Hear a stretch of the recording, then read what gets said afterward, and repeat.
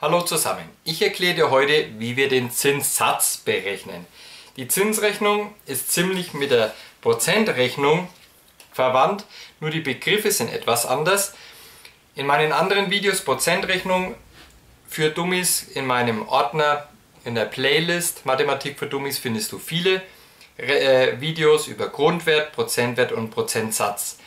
Der Grundwert wird zum Kapital, der Prozentwert wird zu den Zinsen und der Prozentsatz wird zu einem Zinssatz. Dazu kommt die Zeit, anteilmäßig Zeitrechnung auf Monate oder auf Tage, gibt es auch ein Video davon. Das machen wir jetzt aber nicht, wir rechnen nur jetzt mal mit den Jahreszinsen aus. Wir machen das wieder mit zwei Beispielen und mit der Methode Dreisatz und Formel. Beispiel 1. Für ein Sparguthaben in Höhe von 420 Euro wurden 16,80 Euro Zinsen gezahlt. Wie hoch war der Zinssatz? Gegeben und gesucht. Wir haben das Kapital gegeben mit 420 Euro und wir haben gegeben die Zinsen mit 16,80 Euro und gesucht ist klein p der Zinssatz. Zwei Möglichkeiten. Dreisatz und die Formel. Was du verwendest, ist egal. Beides führt zum Ziel. Der eine kommt im Dreisatz besser zurecht, der andere mit der Formel. Dreisatz 420 Euro entsprechen die 100%. Wir rechnen runter auf 1 Euro. Also das Ganze auf der linken Seite geteilt durch 420. Wenn ich es links mache, muss ich rechts auch machen, geteilt durch 420. Mein Taschenrechner hilft mir dabei. 0,238.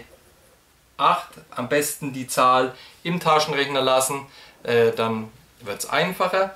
Wir wollen nicht 1 Euro wissen, sondern 16,80 Euro. Also muss ich auf der linken Seite von 1 hoch mal 16,80 und das Ganze auch auf der rechten Seite. Sind dann ungefähr 4%, 3,999 und so weiter. 4% Zinsen. Mit der Formel, die Grundformel ist die Zinsen gleich das Kapital mal der Zinssatz. Ich muss die Formel umstellen, weil der klein p gesucht ist. Klein p ist also die Zinsen geteilt durch das Kapital. Also die 16,80 Euro geteilt durch 420 kommt raus 0,04 und 0,04 sind 4 Prozent. Also vom Dezimalbruch auf Prozent sind 4 Prozent. Zweites Beispiel. Für ein 50.000 Euro Sparguthaben muss nach einem Jahr 55.000 Euro zurückgezahlt werden. Wie hoch war der Zinssatz? Hier wieder gegeben und gesucht. Gerade wenn man vermischte Aufgaben hat, ist es schwierig, das dann rauszufinden. Also immer bitte hinschreiben am Anfang. Kapital 50.000. Meine Zinsen, die ich gezahlt habe, sind jetzt 5.000, weil ich nach einem Jahr 55.000 zurückzahlen muss. Also 55.000 minus die 50.000, was ich an Sparguthaben habe. Die Differenz sind meine Zinsen, sind 5.000 Euro. Gesucht der Prozent- oder Zinssatz in dem Fall.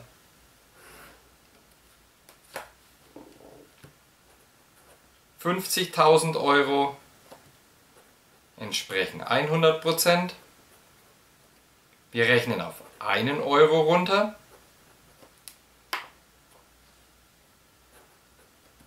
Geteilt durch 50.000. Rechts ebenfalls.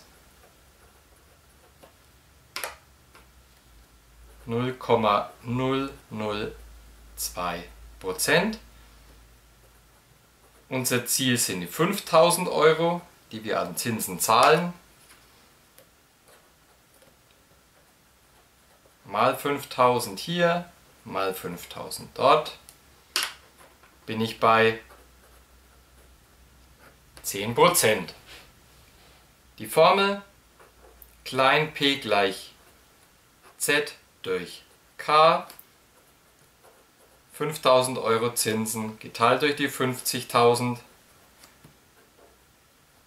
sind 0,1 und 0,1 sind 10% Also wenn du die Formel rechnest, bitte nicht 0,1 da stehen lassen, sondern der Zinssatz ist dann 10% Das heißt, du musst es dann umwandeln von Dezimalbruch in Prozentangabe.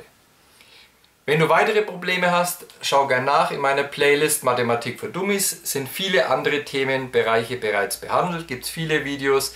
Vielleicht findest du das eine oder andere, was dir auch hilft dabei. Ich wünsche dir weiterhin viel Spaß dabei. Tschüss!